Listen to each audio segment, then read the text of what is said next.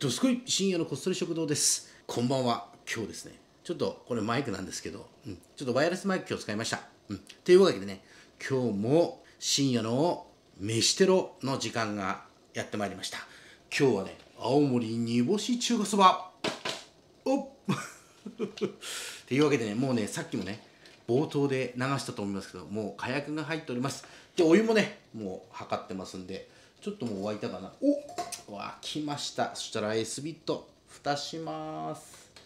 よいしょ。これがなんか楽しみなんだよね俺ね最近。まあ見てる人はどうなのかわかんないけど。じゃあこれをね早速ねお湯入れます。よいしょ。もう青森といったら煮干しだよね。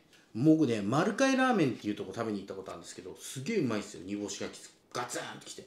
いよいよね4分経ちました。このねニュータッチのあの凄麺シリーズでもこのね青森中華そばはねカロリーが310カロリーなんですよ。スープ飲んでもね。どうかな。うわできたよほら。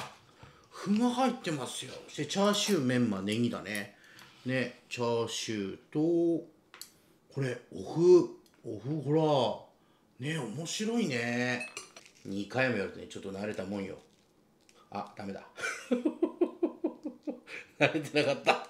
ちょっとお見苦しい点を。うわすえらい煮干しの香りする。まずスープ飲んでみます。うー体に優しい匂いだ。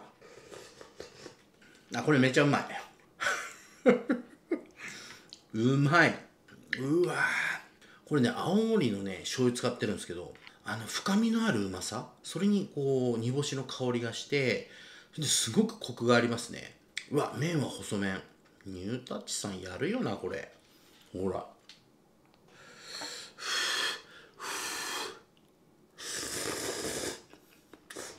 つるつるしこしこうわもう全然あの札幌ラーメンとまた全然違うものだ。麺がねちょっと似てる質でくるかなと思ったんだけど全然違うもの。すごいこれ。ちょっとお麩食べてみようか。あけうん。